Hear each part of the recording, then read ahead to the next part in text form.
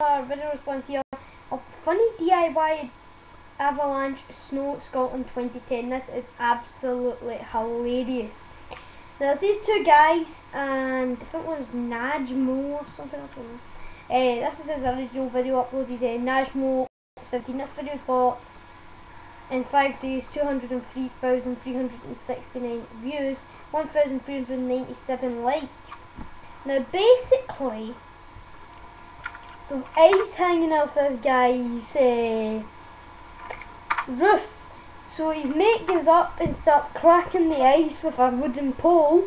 And then the next minute, all the snow on the roof just goes flying forward and causes a mini avalanche right off the roof. Like, all the snow just goes flying forward. This is, good thing about this is it comes from Scotland as well, like moi.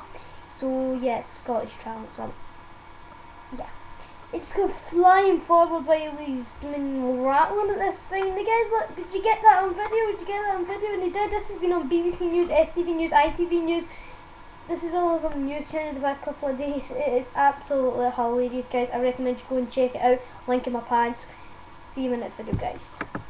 Ciao for now.